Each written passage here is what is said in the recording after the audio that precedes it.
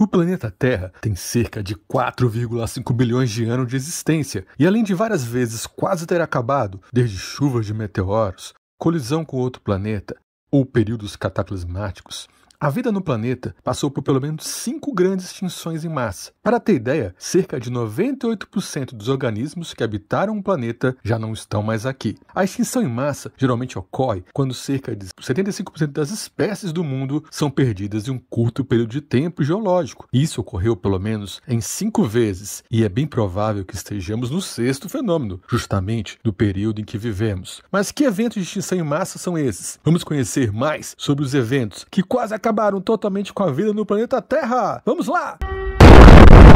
Saudações, grandes champions! Eu sou Sheldon Stacks e esse é o canal Nerd Tudo! Sejam bem-vindos! O planeta possui aproximadamente 4,5 bilhões de anos, mas nem sempre ele teve o aspecto que tem hoje. Muito pelo contrário, cada época é dividida em escala cronológica para melhor organizar a evolução dos eventos. Vamos pegar emprestado da geologia alguns conceitos. A escala geológica, que demonstra os principais eventos ocorridos no planeta Terra desde sua origem até os dias atuais. Esses intervalos de tempo são conhecidos como unidades cronoestratigráficas que se dividem em eons, eras, períodos, épocas e idades. Esses termos vão ser importantes para sabermos em que período as extinções ocorreram. A ciência estuda o passado por meio dos fósseis e análise dos registros geológicos, e por meio dela descobrimos que a vida do planeta sofreu altos e baixos, quase desapareceu totalmente. Vamos descobrir então os cinco eventos principais em que a vida quase sumiu do planeta Terra. Apertem o play!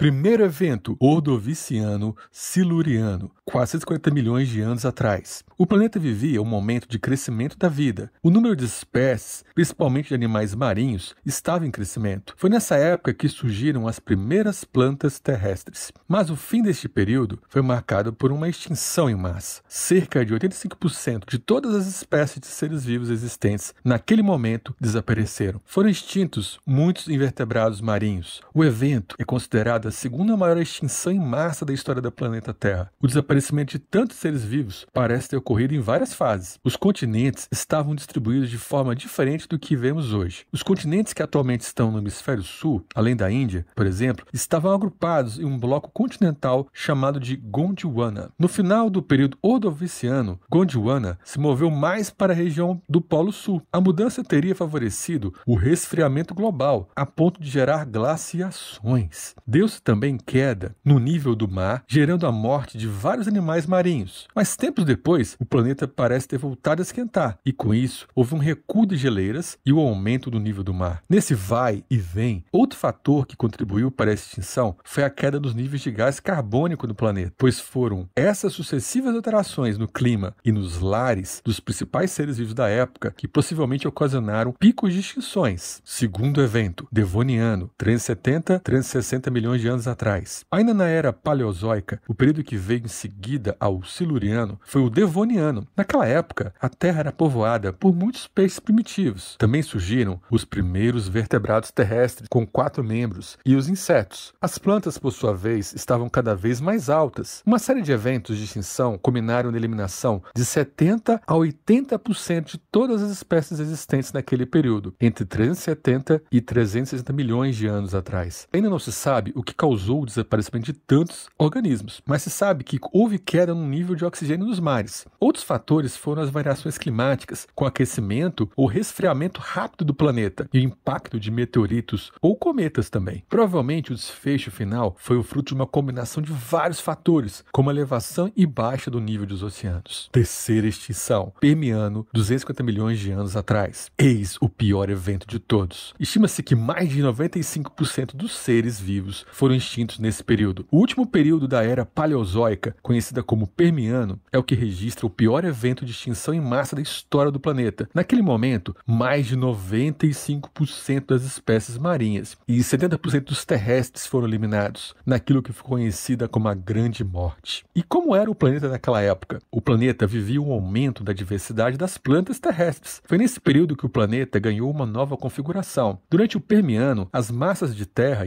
incluindo a Gold Gondwana passaram a formar um único bloco continental, um supercontinente chamado de Pangeia. Além das plantas, houve evolução dos insetos e o surgimento de vários grupos importantes de répteis, com o aparecimento de vários vertebrados. Mas, como eu falei, surgiu a Grande Morte, que com a reunião dos continentes trouxe várias mudanças climáticas. Também foi um momento de várias erupções vulcânicas. Elas provavelmente iniciaram vários eventos catastróficos. Além da lava e da cinza, as erupções lançaram dióxido de carbono e outros gases na atmosfera. O aquecimento do clima e o aumento da acidez nos oceanos geraram um fim da linha para muitas espécies que habitavam o planeta. Apesar dessa hipótese, alguns cientistas apontam também que a Terra pode ter sido atingida por um grande asteroide que encheu o ar de partículas de poeiras, bloqueando a luz solar e provocando chuvas ácidas. De qualquer forma, esse evento se tornou a maior extinção da vida do planeta Terra. Quarto evento, Triássico, 200 milhões de anos atrás. Avançando na nossa jornada, chegamos a uma nova era geológica, a Mesozoica, mais precisamente no primeiro período desse novo tempo, o chamado de Triássico. E como era o mundo naquela época? Se olhasse ao seu redor, sabe o que veria? Muitas plantas do grupo dos pinheiros, as chamadas gimnospermas, surgiram nessa época. Os répteis já dominavam a paisagem. Foi nesse período que surgiram os primeiros dinossauros e os mamíferos. Os estudos calculam que cerca de 3 quartos das espécies apareceram nessa época. Enquanto no outro evento de extinção, a reunião dos continentes foi importante, nesse a principal explicação para o fenômeno foi ao contrário, foi a separação da Pangeia, o supercontinente que reunia praticamente toda a superfície terrestre do globo. Essa atividade geológica colossal elevou a quantidade de dióxido de carbono na atmosfera novamente, os gases entrando na jogada, o que deixou os oceanos mais ácidos. A erupção de vários vulcões foi significativa, mudando a geografia do local. Com isso, a vida deixou de ser viável para muitas criaturas. As mudanças, porém, representaram uma vantagem para aqueles que resistiram, como foi o caso de alguns dinossauros. As espécies de répteis que não morreram acabaram encontrando um terreno fértil para prosperar pelos próximos milhões de anos, até o próximo evento, o quinto evento, Cretáceo, 65 milhões de anos atrás. Essa talvez seja a mais famosa de todas. Ela representou a extinção da maioria dos dinossauros. Esse era o último período da era Mesozoica, conhecido como Cretáceo. Como era o mundo nessa época? Foi marcado pelo surgimento das plantas com flores, as angiospermas. Esse grupo também se tornou muito diverso no período. Havia ainda novos mamíferos e aves, dinossauros e répteis marinhos, a maioria gigantescos. A concentração de oxigênio era muito alta nessa época. As massas continentais começaram a migrar para as posições atuais. Foi no Cretáceo que o globo começou a ficar mais parecido com a configuração que conhecemos hoje em dia. Mas ao final do período, há cerca de 65 milhões de anos atrás, a Terra passou por mais um evento evento de extinção em massa. Embora cientistas tenham levantado diferentes hipóteses para explicar esse evento, o de maior possibilidade é a teoria do asteroide. Um asteroide gigantesco teria colidido com a Terra, que além de gigante, entrou na órbita com tanta velocidade que ao atingir a península de Yucatán no México, atingiu um local que abriu uma cratera enorme, que até hoje pode ser visto no México. Outro fundamento que fala a favor dessa colisão é que também foram encontrados depósitos de um elemento raro na Terra, o irídio, que é comum dos meteoritos. E é possível mapear as ondas de impacto até hoje, com evidências disso não apenas na região, mas em partes da África, das Américas e até da Ásia. A colisão, além do choque direto, teve impacto de várias bombas atômicas, teria gerado uma nuvem gigante de poeira, que ao se espalhar pela atmosfera, teria bloqueado a luz do Sol. Como consequência, teria ocorrido mudanças no clima, matando plantas e muitos animais, não só no local, mas espalhando seu efeito no mundo todo. Acredita-se que tenha sido o gatilho para uma série de mudanças no ambiente: poeira, diminuição da luz solar,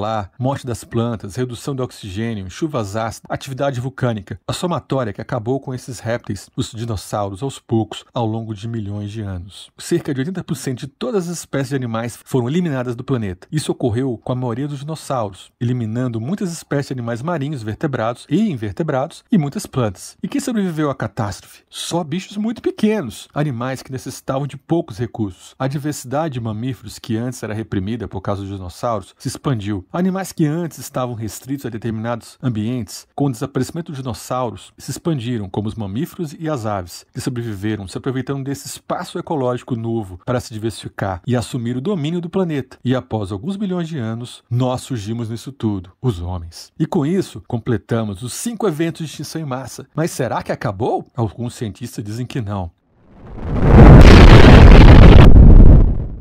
Ufa, tomara que a humanidade possa controlar essa situação. Se não já viu, né? De qualquer forma, a humanidade está fadada a ser uma navegante do espaço, pois mesmo se a humanidade não se destruir, um outro evento cataclismático ocorrerá. Um deles é que o Sol, em alguns bilhões de anos, se tornará uma gigante vermelha. E esse processo vai destruir o planeta quando se expandir. Mas isso é tema para outro vídeo. Gostaram? Siga o canal Nerd Tudo, o canal mais nerd da internet. Siga no Instagram também. Entre lá, canal Nerd Tudo. Se inscrevam no canal, deem seu like, compartilhem. É isso aí, grandes champions. Valeu!